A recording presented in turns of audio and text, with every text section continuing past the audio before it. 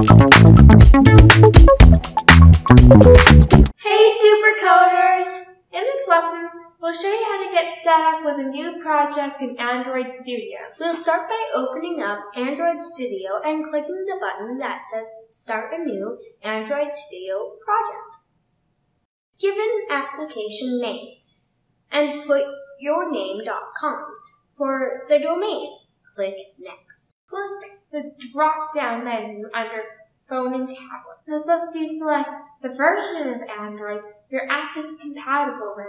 Usually, you'll want to choose the newest, but if you have an Android device and you know it runs an older version, choose that version instead.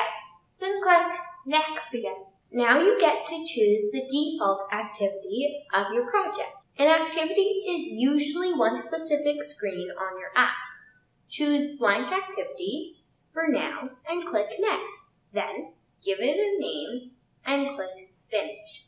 Now you have a blank Android project and you can start coding your app. Bye, supercoders!